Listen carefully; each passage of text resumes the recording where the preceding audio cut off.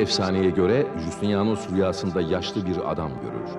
Bu yaşlı bilge imparatora gümüş levhaya kazınmış bir kilise resmi uzatır. Justinianus bunun uzun zamandır yıkılan büyük kilise yani Megale Eklesia'nın yerine yaptırmayı tasarladığı kilise olduğunu anlar ve sorar. Kilisenin adını ne koyalım? Yaşlı adamın cevabı ise Ayasofya'dır elbette. Ayasofya yani kutsal hikmet. Zannedildiği gibi Azize Sofya değil. Justinianus Kilisesi'nin görkemi karşısında kendi eserini Hazreti Süleyman'ın yaptırmış olduğu Yehova tapınağıyla kıyaslayarak tarihe geçen Süleyman seni geçtim sözlerini söylemiştir.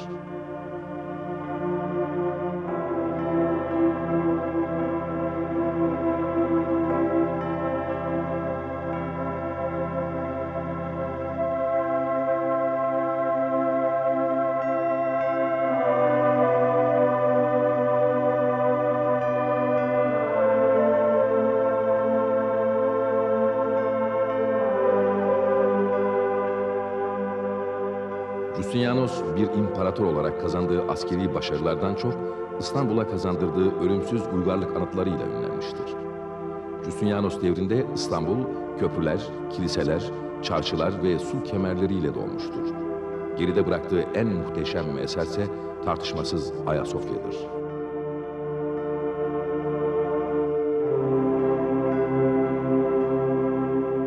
Ayasofya engin kubbesi, denizleri, ormanları hatırlatan mozaikleri ve Marmara Adası'ndan gelen ak, Eğriboz'dan gelen yeşil somaki, Afyon'dan gelen pembe, Kuzey Afrika'dan gelen sarı mermerleriyle yeryüzünü temsil eder.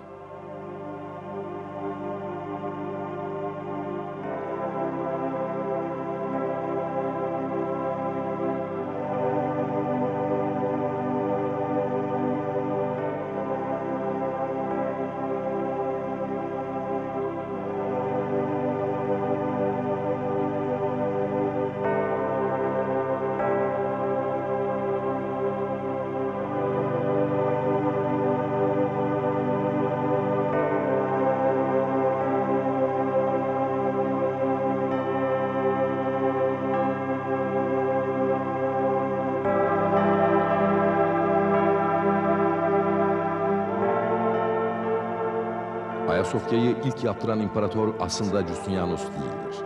Kilise ilk olarak İmparator Konstantinos tarafından 15 Şubat 360 yılında yaptırılır. Ve Megale Ecclesia yani Büyük Kilise denir. Bu bina döneminin tüm dini yapıları gibi üstü ahşap çatıyla örtülmüş uzun bir bazilikaydı.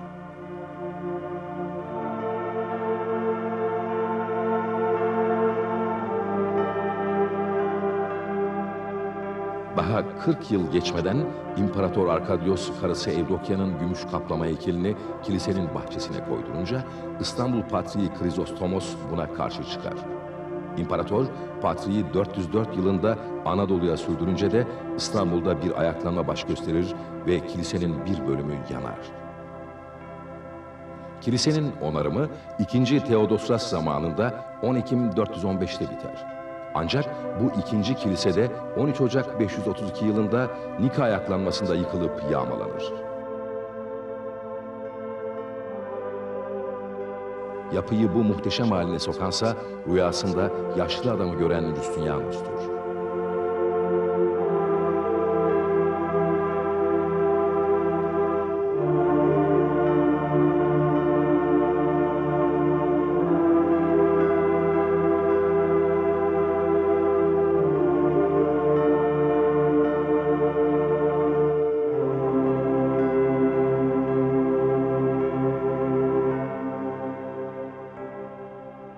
...1935 yılında Schneider, Ayasofya'nın batı yanındaki dış avluda kazılar yapmış, mermer parçalar bulmuştur. Bu parçalar arasında mermer üzerine yapılmış olan bu kuzu kabartmalarının 12 havariyi temsil ettiği söylenmektedir.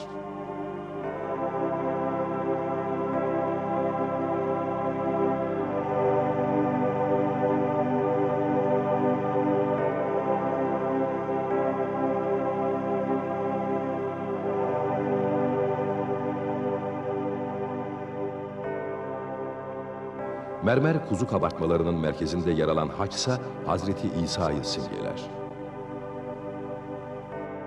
Bulunan bu mermerlerin abidevi ölçülerde muazzam bir girişe ait oldukları anlaşılmaktadır. Bunların 2. Theodosius tarafından yaptırılan bazilikanın giriş cephesinin kalıntıları olduğu tahmin edilmektedir.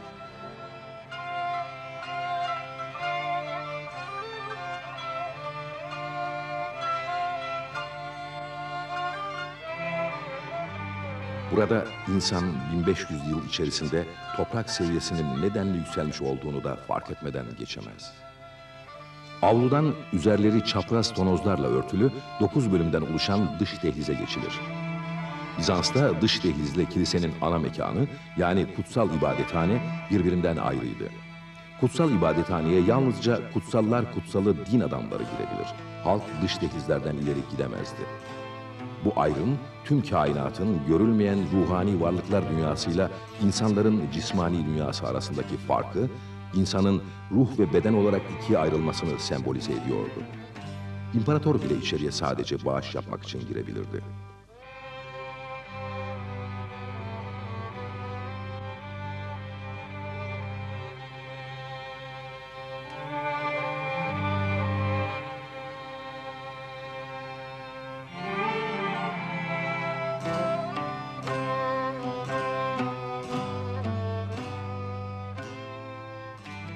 Fetihten sonra cami olarak işlevini sürdüren bina 1934 yılında Atatürk'ün öncülüğüyle müze olmuştur. O günden bu yana kilisenin bu bölümünde çeşitli devirlerden kalma Bizans taş eserlerinden küçük bir koleksiyon sergilenmektedir.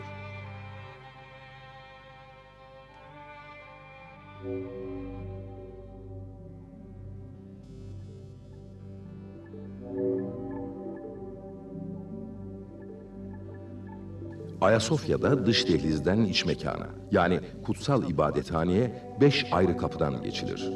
Bunlardan ortada olan ise sadece imparatorların secde ederek içeri girebildikleri imparator kapısıdır.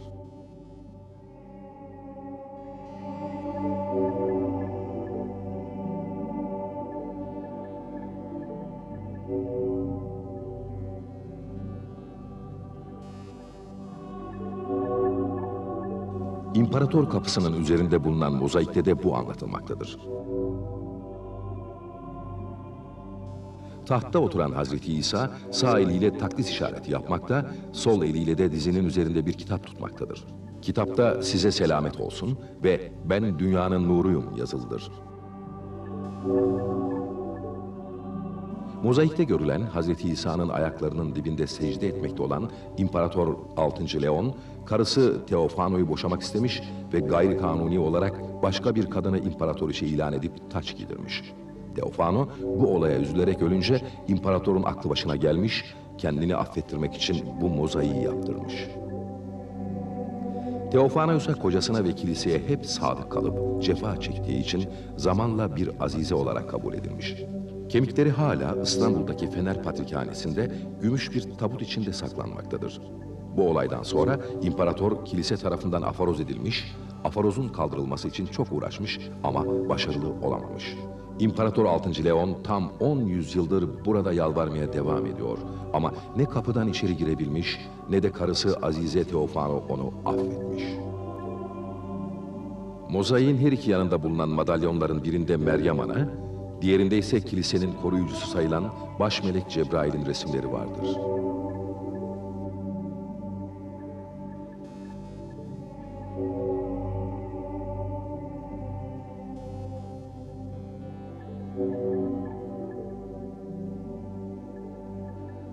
İmparator kapısının üzerindeki söyenin madenden oluşu başka bir efsaneye kaynak olmuştur.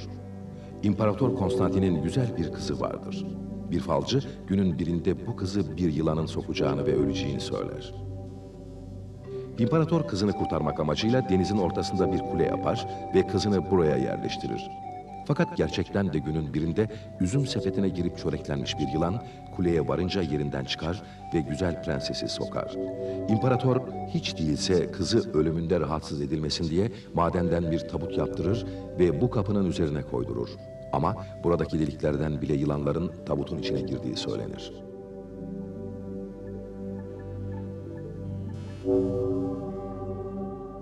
Bu sandığın tam ortasında kemer içinde bir koltuk kabartması vardır. Bu sanıldığı gibi mahşer günü Hazreti İsa'nın gelip oturacağı kutsal taht yani hetoymasya değildir. Üzerine bir güvercinin indiği tahtın üstündeki açık kitapta ben koyunların kapısıyım. Eğer bir kimse benden girerse kurtulur. Girer, çıkar ve otlak bulur yazılıdır.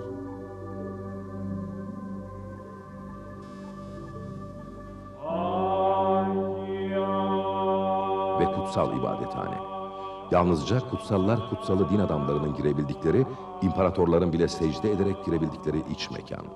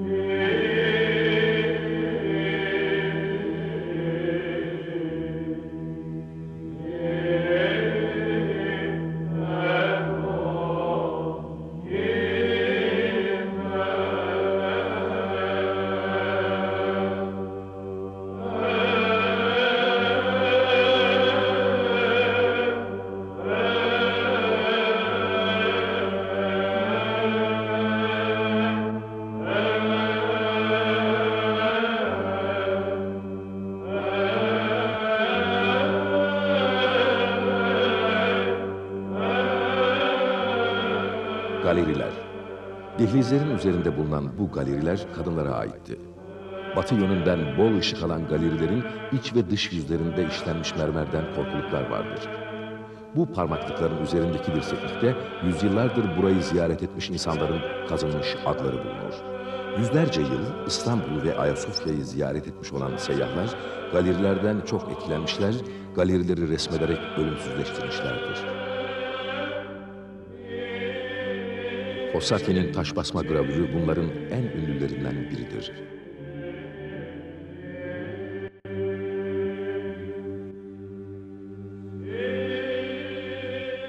Üst katta iç dehlizin üzerini boydan boya kaplayan, üstü beşik tonozlarla örtülü olan bu yer kadınlara ayrılmıştır. İmparatoriçelerin Aşağı-i Rabbani törenini izledikleri bu bölüm bir loca görünümündedir. Kadınlara ayrılan bu bölüme gaynekyon denilmektedir. İnsanları etkileyen sadece galeriler değildi elbette. Orta Nef'in 40 kaburgalı, 40 pencereli kubbesi de yüzlerce yıldır meraklı bakışların odak noktasını oluşturmuştur. Güney Galeri kubbenin baskısını karşılamak üzere statik bakımdan düşünülmüş olan paye, kemer ve tonos sisteminin nasıl çalıştığını iyice göstermektedir bize.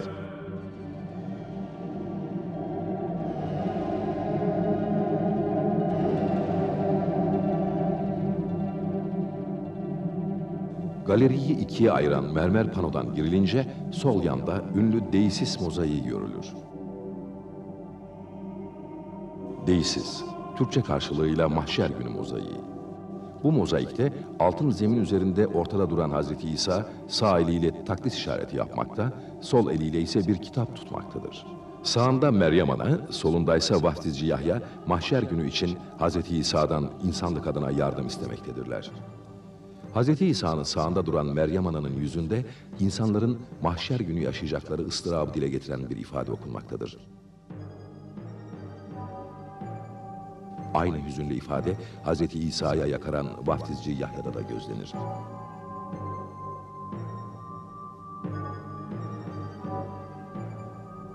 Hz. İsa ise mahşer gününde yumuşak, şefkat dolu fakat Tanrı katına erişecek kadar yüceltilmiş bir varlık olarak betimlenmiştir.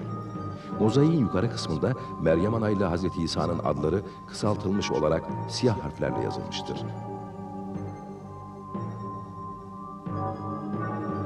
Bu kapı cennet ve cehennem arasındaki sınır çizgisini simgeler. Cehenneme gidecek olan insanlar bu kapıdan içeri giremezler. Buradan geçiş hakkı sadece cennete gidecek olan insanlara tanınmıştır. Deisis yani Mahşer Günü mozaiğinin karşısındaki duvarın dibinde Venedik doju Enrico Dandolo'nun mezarını işaret ettiğine inanılan yazılı bir taş bulunmaktadır. 1204 yılında İstanbul'u almak için Papa 3. Innocentius'un isteğine karşı gelerek 4. Haçlı Seferi'nin yolunu değiştirmiş olan Enrico Dandolo İstanbul'da ölmüş, ölümünden sonra buraya gömülmüştür. İstanbul'un fethinden sonra bu dik kafalı Venedik dojunun kemiklerini Fatih Sultan Mehmet'in ressamı Bellini padişahtan ister. Padişahın izniyle kemikleri alan Bellini bunları Venedik'e götürür.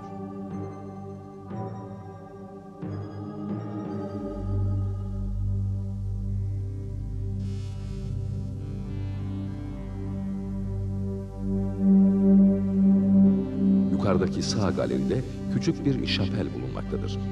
Efsaneye göre bu küçük hücre 1453'te son ayini idare eden papazın kaybolduğu ve İstanbul tekrar Hristiyan olduğunda yeniden ortaya çıkacağı yerdir.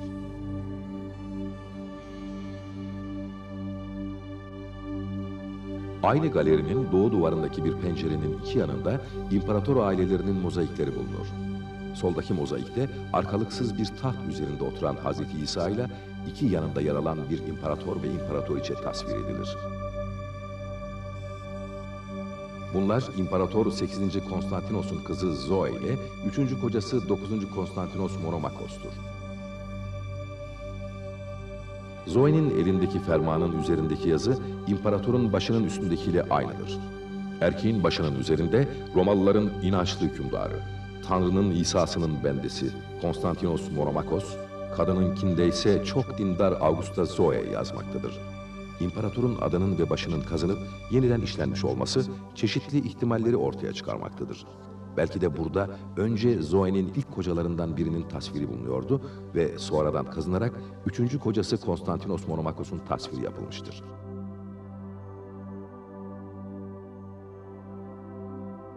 Bu olayın halk arasındaki hikayesi ise şöyledir. Zoe imparatoriçe olabilmek için 45 yaşında ilk evliliğini yapar. İmparatoriçe bir süre sonra ilk kocası 3. Romanos Argires'in gözüne mil çektirerek onu Kınalı Adaya gönderir. İkinci kocası 4. Mişel'in sonu da sürgündür.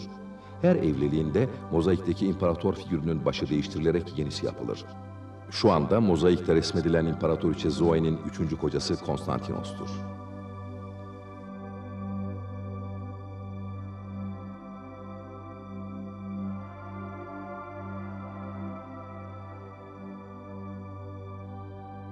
Pencerenin sağ tarafındaki mozaikte İmparator II. Ioannes Komnenos'la Macar asıllı eşi Irene,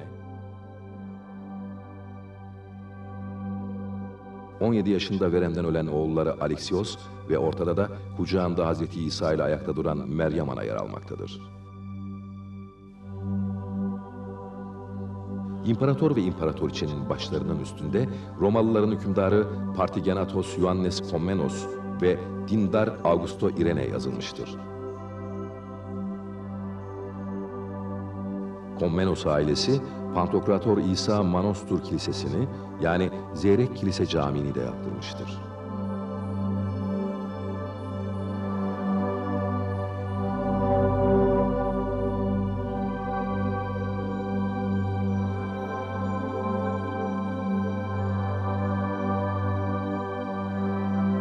Pencerenin iki yanında yer alan mozaikler imparator ailelerinin para bağışının anısına yapılmıştır.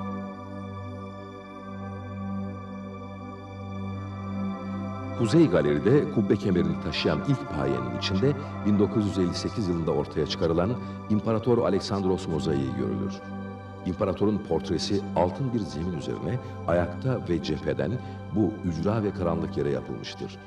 Üstünde incili ve taşlarla süslü tören giysisi bulunan imparatorun sağ elinde bir tomar, sol elinde ise bir küre vardır. İmparator kapısının üzerinde secde eder görülen kardeşi 6. Leon'la tahta ortak olan Aleksandros tarihe son derece silik bir kişi olarak geçmiştir. Devlet idaresini kardeşine bırakıp sarayda gününü gün etmiş, kardeşi öldükten sonra yaklaşık bir sene idareyi ele alıp 43 yaşında ölmüştür.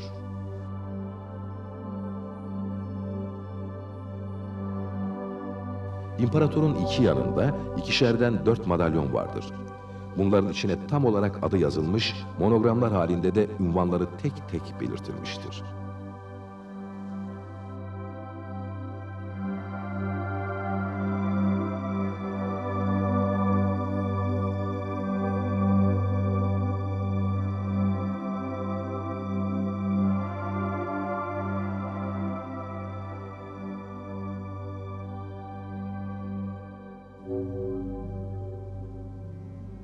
Ayasofya'nın apsis yarım kubbesini süsleyen Meryem Ana tasviri buradaki mozaiklerin içinde en güzel olanıdır. Meryem Ana altın bir zeminin orta yerinde, arkalıksız bir taht üzerinde, kucağında Hazreti İsa ile oturmaktadır. Koyu lacivert renkteki sade giysisiyle altın zemin tam bir kontrast oluşturur. Alnında ve omuzlarında altın haç bulunmaktadır. Meryem Ana mozaiği, ikona kırıcılık akımının sona ermesinden sonra yapılan en eski tasvirdir. Apsisin önündeki büyük beşik tonozun iki tarafında birer baş melek tasviri bulunmaktadır. Fakat solda bulunan Michel'in resmi günümüze kadar dayanamamıştır. Sağda yer alan ve bugün oldukça iyi durumda olan baş melek Cebrail mozaiği altın zemin üzerine yapılmıştır.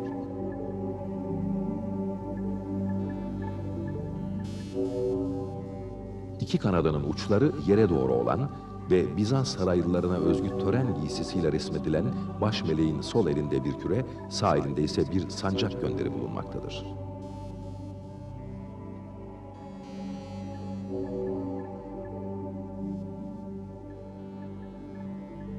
Yan neflerin üzerindeki büyük kemerlerin içlerinde uzanan pencereli duvarların yüzleri mozaiklerle süslüdür. Bugün yalnız kuzey duvarında bulunan üç aziz resmi görülmektedir. Soldan sağa doğru birinci nişte genç Ignatius. Dördüncüde İstanbul Patriği Ioannes Chrysostomos. Ve yanındaki nişin içinde Antakya Piskoposu Ignatius tasvir edilmiştir.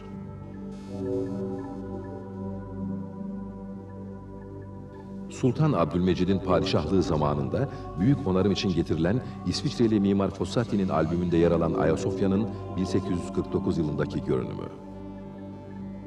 Ortaçağ mistisizminin sembolü olan Ayasofya, iç süslemesinin zenginliği, bir kilise için alışılmışın dışında olan ölçüleri, ortada yer alan kubbesinin yüksekliği ve genişliğiyle her devirde insanları şaşırtmış ve hayranlık duyulmasına neden olmuştur. İçeriye sızan güneş ışınlarının oyunuyla da yüce bir görünüm kazanan kubbenin boşlukta yüzdüğüne inanılırdı.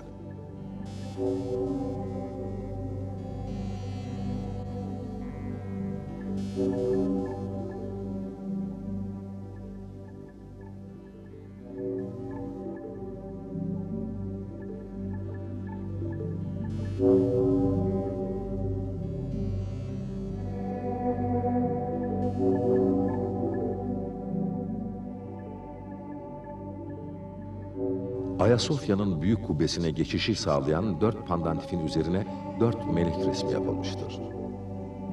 Ortodoks inancına göre kubbe gökyüzünü, zeminse yeryüzünü simgelemektedir.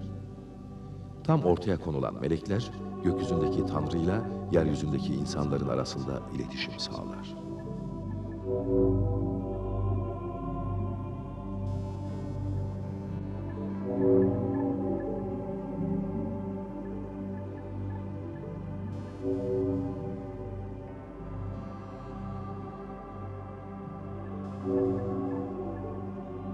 Zemin renkli taşlardan yuvarlaklar kesilerek süslenmiştir.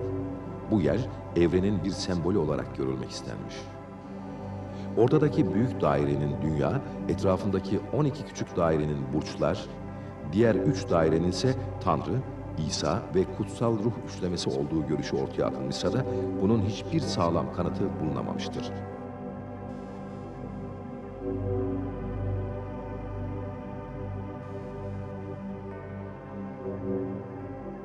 Omhalos adı verilen bu yerin üzerinde Bizans'ın son dönem imparatorları taç giymişler.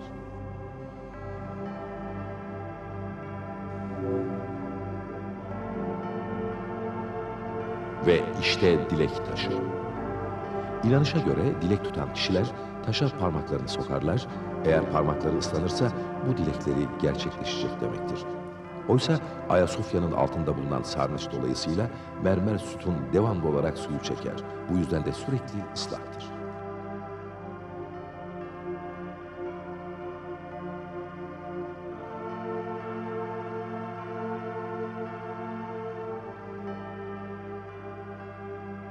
Güney taraftan yapının içine yönelen dehlizdeki kapının üstüne sunu sahnesi resmedilmiştir. Bir taht üzerinde oturan Meryem'in ayakları ters perspektife göre çizilmiş bir sekinin üzerine basar. Meryem Ana'nın başının iki yanındaki madalyonlarda Tanrı Anası olduğunu ifade eden Meter ve Teo sözcüklerinin monogramları bulunur. Hazreti İsa sağ eliyle takdis etmekte, sol eliyle dizine dayalı bir tomar tutmaktadır. Her iki yandaki imparatorlar Meryem Ana'ya birer model sunmaktadır. Sağında İstanbul'un kurucusu 1. Konstantinos'un elinde İstanbul'un modeli vardır. Ortada büyük kapısı ve kuleleri görülen şehrin içinde Ayasofya ve Senat olduğu tahmin edilen iki yapı sergilenir. Diğer yandaki kişinin yanında anısı ünlü İmparator Justinianus yazar. Meryem Ana ve Hazreti İsa'ya büyük kubbesiyle mozaiğin içinde bulunduğu yapıyı temsil eden Ayasofya'nın modelini sunmaktadır.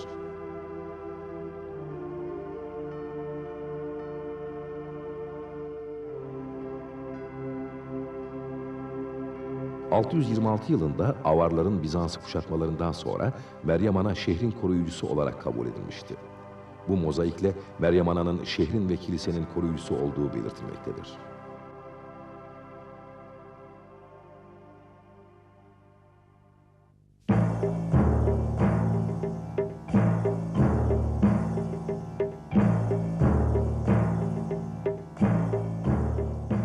Roma İmparatoru Büyük Konstantinus'un milattan sonra 330 yılında kurduğu İstanbul, 1123 yıl sonra bir başka Konstantinus İmparatorken fethedilir.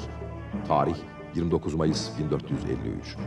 Fatih Sultan Mehmet'in zekası ve askeri dehası karşısında İstanbul surları dayanamaz. Padişah, Bizans İmparatorluğu'nun başkenti İstanbul'u alınca ilk önce Ayasofya'ya gelir.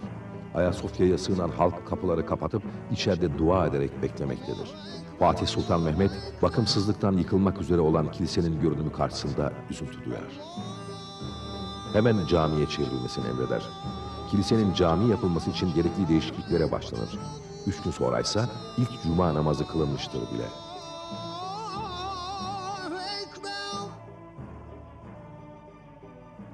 Eşhedü en la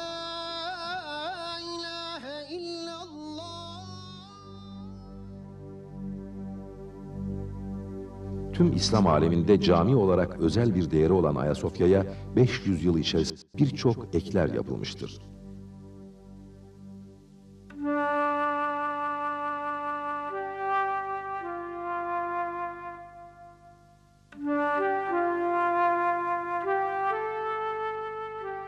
...16. yüzyıl sonlarında 2. Selim ve 2. Murat tarafından yaptırılan büyük tamirat sırasında konulan minber... ...Osmanlı devri Türk mermer işçiliğinin en güzel eserlerindendir. İki yanı dantel gibi işlenmiş ve girişin üstüne Allah yazısı konmuştur.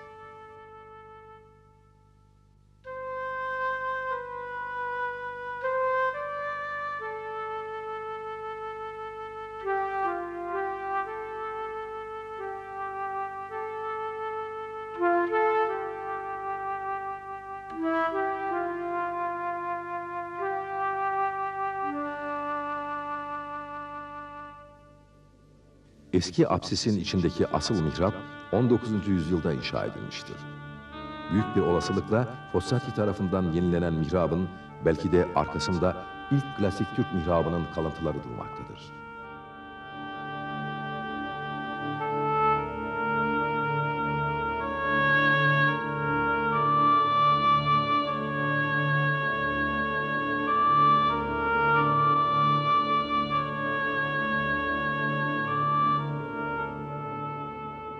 Kasr-ı Hümayun'a bağlı Hünkar Mahfili 1. Mahmut zamanında inşa edilmiş ve daha sonra Fossati tarafından düzenlenmiştir.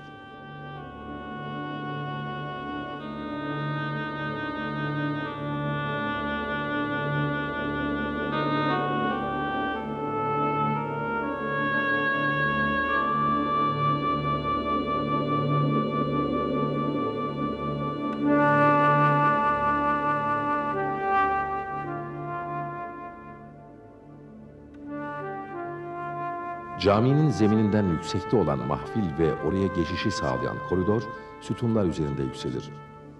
Sütunların başlıkları ve üstündeki köşk kısmının kafesli korkulukları Neo-Bizanten üslubun örnekleridir.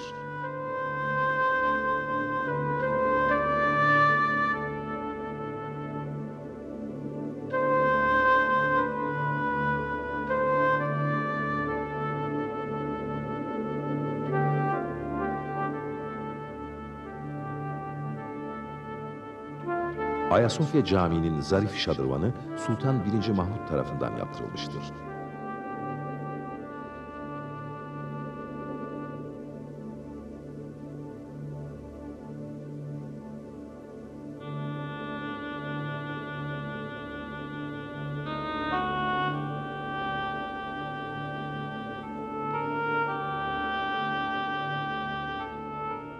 Babı Hümayun tarafında yükselen gövdesi yivri minareyi 2. Selim Mimar Sinan'a yaptırmıştır.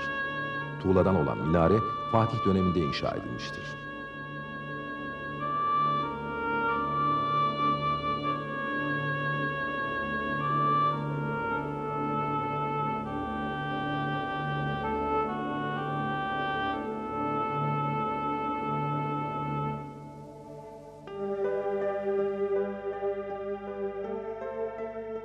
Alemdar Caddesi tarafındaki eş minareler ise yine Mimar Sinan'ın eseridir ve 3. Murat zamanında yapılmıştır.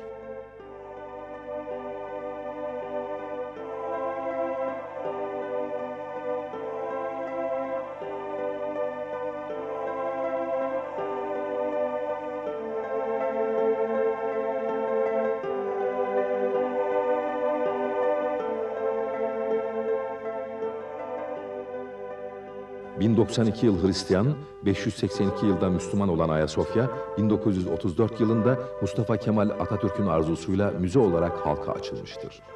Ayasofya'nın müze olmasından sonra... ...bahçeye getirilen Bizans dönemine ait taş eserler de burada sergilenmeye başlanmıştır.